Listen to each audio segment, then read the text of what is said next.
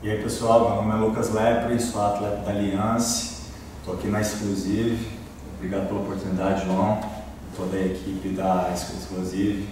É, vou mostrar algumas técnicas para vocês hoje, tá? espero que vocês gostem. Então, primeiramente é o seguinte, passei a guarda, coloquei a pressão, ganhei os pontos, tá? Primeiro eu gosto de estabilizar a posição, ganhar os pontos e depois partir para finalização. Então estou aqui nos 100 quilos. O que eu gosto de fazer aqui agora é o seguinte: coloquei a pressão, agora eu vou. O cara começou a ter uma reação aqui, ele vai começar a me empurrar, eu vou aliviar. Esse meu braço de cá, o meu, o meu, o meu braço direito, eu sempre puxo ele para mim, forçando ele virar para dentro de mim.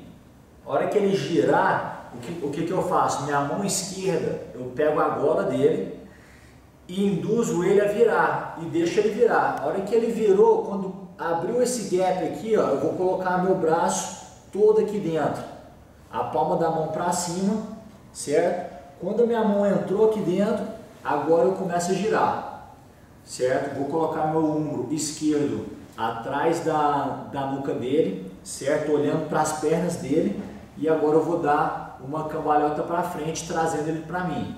Vem aqui, trago ele, estico meu, estico meu braço, quando ele cair, já vou colocar os ganchos, tá? E aí eu vou começar a ajustar a gola e agora é só finalizar.